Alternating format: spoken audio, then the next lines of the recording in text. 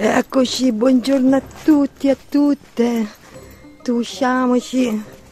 Vi porta in una via cava, una tagliata, come la vogliamo chiamare, dipende dalle zone, comunque sono entrambe la stessa cosa, che è una chicchetta, però diciamo che questa via cava è conosciuta, insomma via, mica tanto, per i locali però forse neanche i locali sanno, sanno.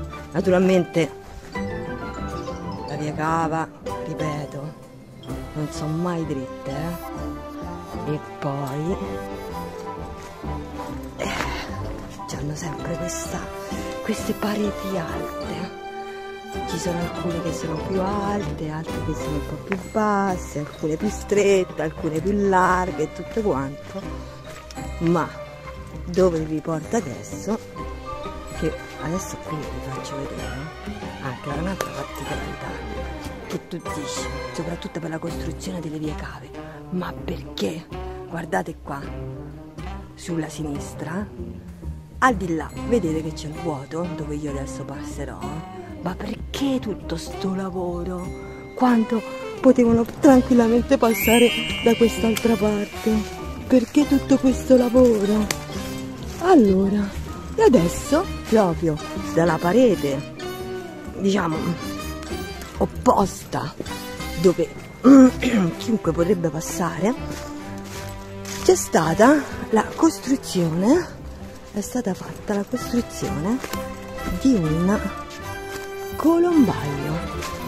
Più o meno la stessa cosa che si ripete anche a Blera. Il colombaio è dalla parte di qua della parete del, della via cava. Questo colombaio è particolare perché naturalmente adesso in questo momento storico, cioè da sempre da quando lo conosco io, è molto basso.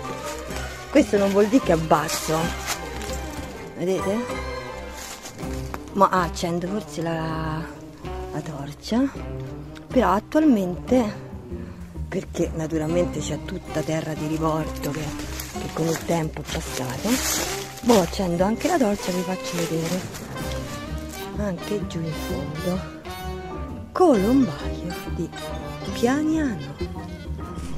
Ripeto con la parte